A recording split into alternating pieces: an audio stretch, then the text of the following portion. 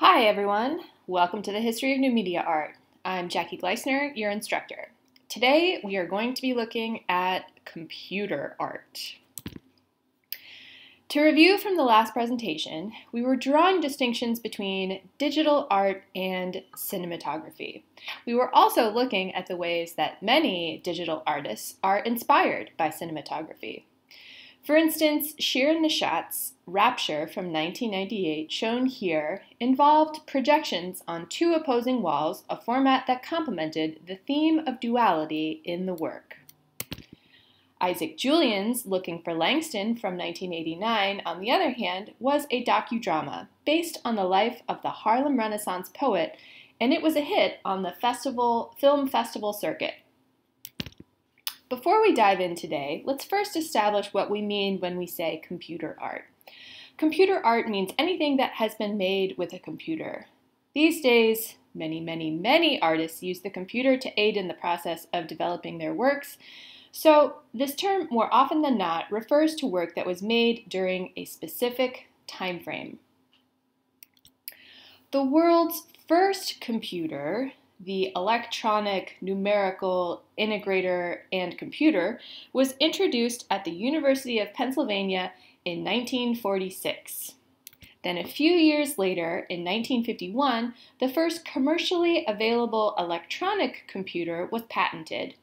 Many scientists working on the first computers were not involved in the arts, so the aesthetic standards of these early computers were not especially high. It's impo- also important to note that many of these research centers were funded by the government against the backdrop of the Cold War. And these research centers allowed space for experimentation by artists. Some of the first truly digital artists include Michael A. Noll, Frieder Nake, and George Nees. For context, here's a photo of ENIAC to give you a sense of how large and cumbersome the very first computers were. And here's the UNIVAC operator console. Finally, here's one more photo from the archives. This is the UNIVAC at Franklin Life Insurance Company.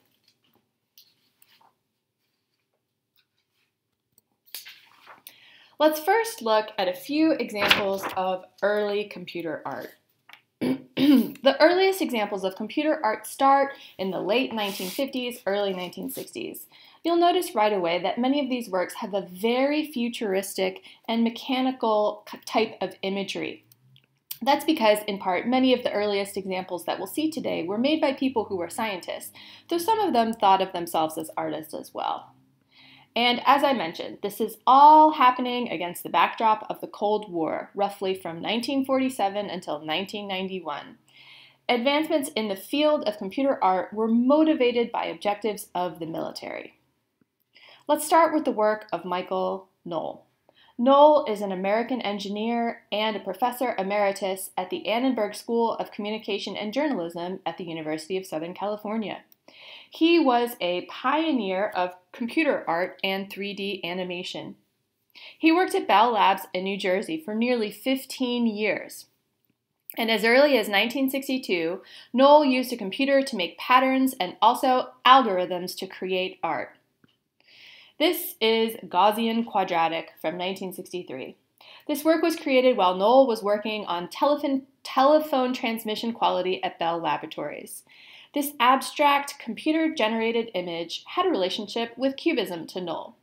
In 1965, New York's Howard Wise Gallery had a show called Computer Generated Images, which included many works by Noll as well as his colleague Béla Julesz. The title infers that not all who participated in the show believed their works to be art. Yet several of Noll's early works were inspired by paintings, such as Picasso and Mondrian. Here's Noll describing his work. 99 lines connect 100 points whose horizontal coordinates are Gaussian. Vertical coordinates increase according to a quadratic equation. As a point reaches the top, it is reflected to the bottom to continue its rise. The exact proportions of this pattern were chosen from many other examples. This particular proportion is vaguely similar to the painting Ma Jolie by Picasso, shown on the right. This is another example by Noll, which was also inspired by an artist. This is four computer-generated random patterns based on the composition criteria of Mondrian's Composition with Lines from 1964. However invested Noll was in computer art, he also recognized its shortcomings. In 1970, he said, the computer has only been used to copy aesthetic effects easily obtained with the use of conventional media. The use of computers in the arts has yet to produce anything approaching entirely new aesthetic experiences. Several people actually agree with Noll. But this would change in time as artists began to experiment with more computer art with the support of art institutions and growing interest from the public.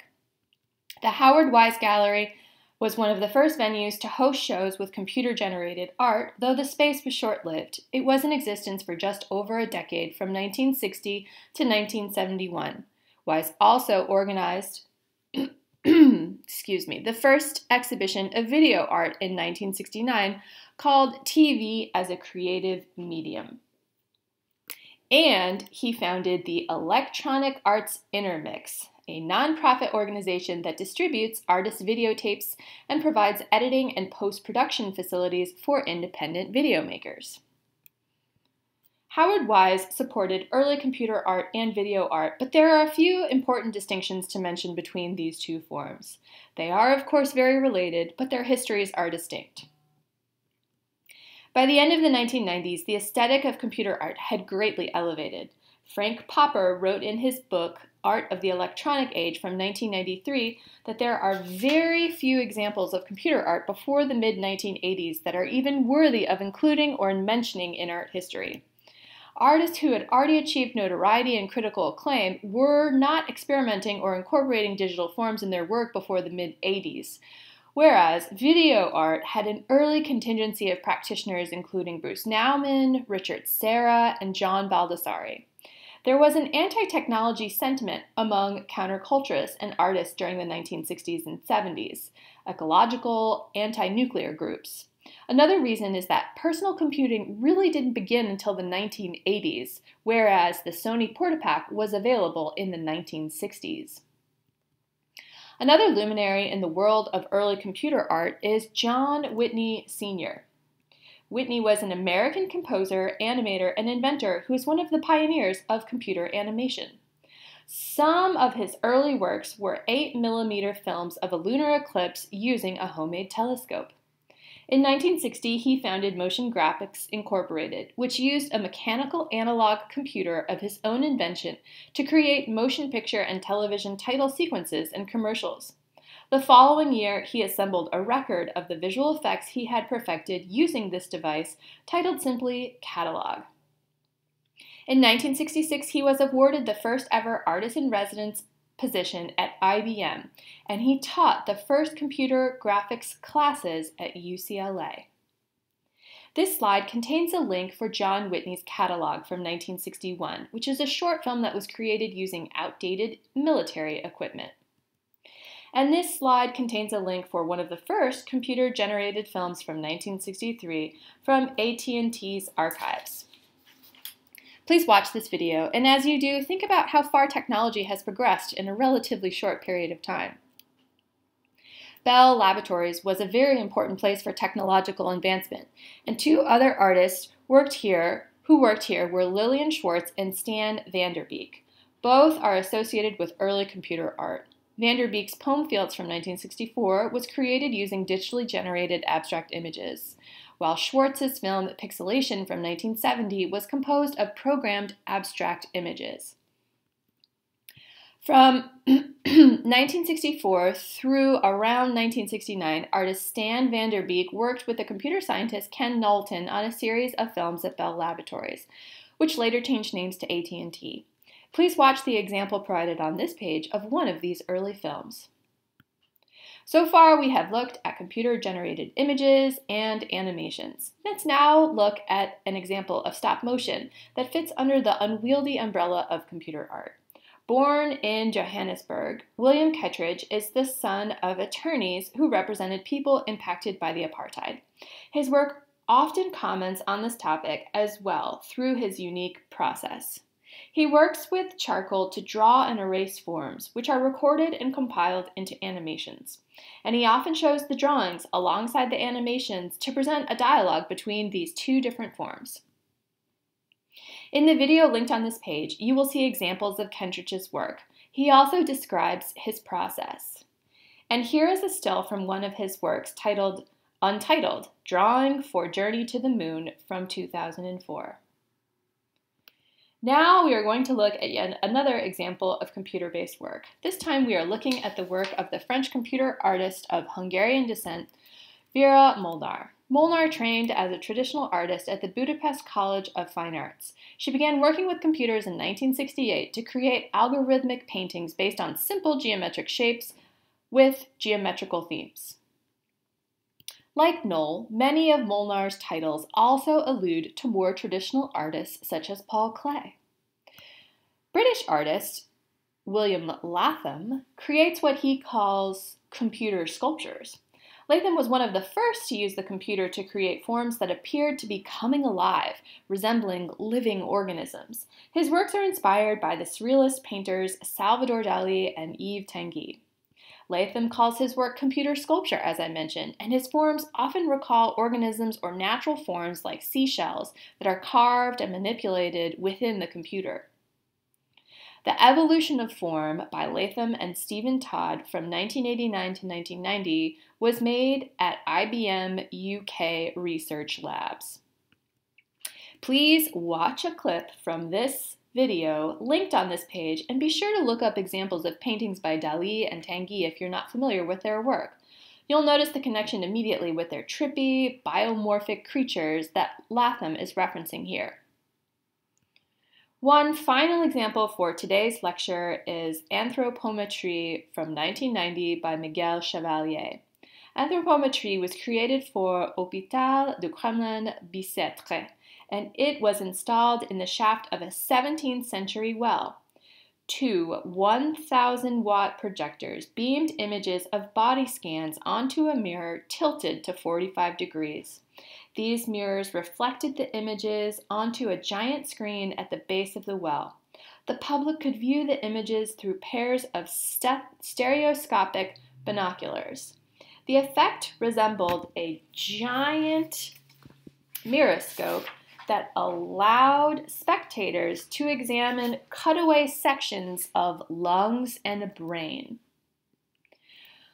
Artists continued to make computer art after the 1960s and 1970s, but that time frame heralded a burst of innovation in the field. As computers became more affordable and accessible in the 1980s, more artists started to explore this territory. American writer and freelance curator Cynthia Goodman notes David Hockney, Jennifer Bartlett, Keith Haring, and Andy Warhol were also experimenting with computers in some way around this time. Today, there are too many artists whose work rely on the computer to list on this slide, and this is a, a topic we will dive into a little bit more in a later lecture. In the 1980s, computer based art broadened to include graphics, animation, digitized images, cybernetic sculptures, laser shows, kinetic and telecommunication events, as well as other types of interactive art. Today, the term computer art has little meaning since most artists use digital technology. Many people use computers in some way. This lecture focused on mostly early examples of computer art, with a few more recent works to expand our understanding of this term. Thanks for watching this lecture. I hope you have enjoyed learning about the early roots of computer art. See you all soon.